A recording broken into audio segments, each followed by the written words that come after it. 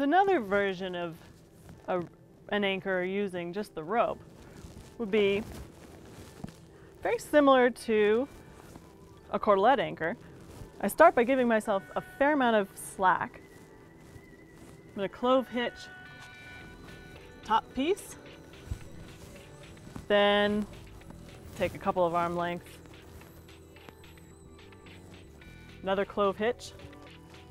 In the bottom piece, you might start to see what's going on here. Get my rope out of the way. This middle segment between those two cloves now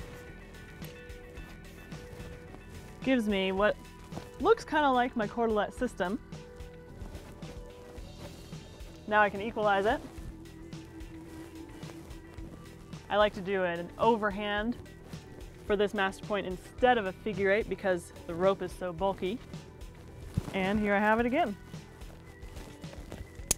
Now you'll notice I have a lot of slack. If I want to get off that top, top piece so that it, if I'm moving around, I don't, you know, make it inadvertently shift, I can get myself cloved with slack into the master point.